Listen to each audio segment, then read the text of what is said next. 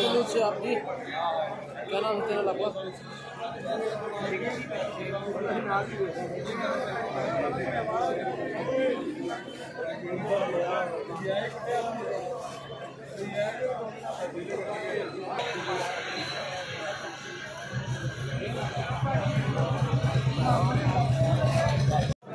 मेरी गल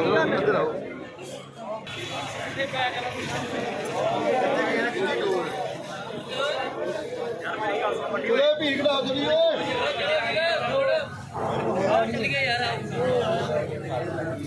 ਕੰਮ ਕਰਨ ਵਾਲਾ ਉਹ ਕਰ।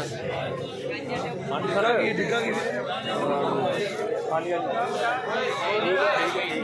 ਅਕਸ਼ੇ ਬਾ ਬਾਹਰ ਆ ਜਾਓ ਬਾਹਰ ਆ ਜਾਓ ਠੀਕ ਹੈ ਠੀਕ ਹੈ। ਠੀਕ ਚਲੋ ਕਰਦੇ ਮੁੰਡੇ ਨੂੰ ਸਟੇਜ ਕਰਦੇ ਉਹ ਲੱਗੇ ਨੇ ਸਵੇਰ ਨੂੰ ਦੇਖੋ। ਬੜਾ ਲਾਈਵ ਕਰਾ ਮੇਰਾ ਉਹ ਮੈਨੂੰ ਨਾ ਕਹੀ ਹਲੇ ਤੇਰੀ ਬਾਈਟ ਦਾ ਸ਼ੋਰ ਸਾਰਾ ਵੱਡਾ ਹੋਊਗਾ